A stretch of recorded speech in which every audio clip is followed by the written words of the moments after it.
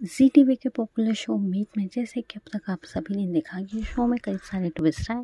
वहीं मीत अलावत ने शादी कर ली है नीलू से। मीत अलावत डाइवोर्स देना चाहते हैं मीत हुडा को, लेकिन मीत हुडा ने कर दिया है मना कि वो कोई भी डाइवोर्स नहीं देगी। मीत अलावत को इतना ही नहीं, बर्फ़ी देवी, मीत नीलू पहुँच जाते हैं हॉस्पिटल राजवर्धन को देखने के लिए वहीं बर्फ़ी देवी नीलू उसे कहती है कि वो राजवदन का पैर पड़े, तभी मीत हुड्डा कहती है कि डॉक्टर ने कहा है कि राजवंदर को ठीक होने के लिए तीन दिन लगेंगे। वही वही तीन दिनों के बाद पता चलेगा कि अलावत फैमिली की कौन सी बहू रहेगी।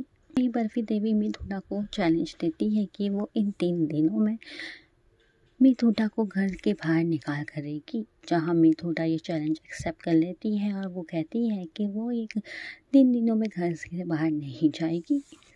अब देखना यह है कि शो में क्या नया ट्विस्ट देखने को मिलेगा।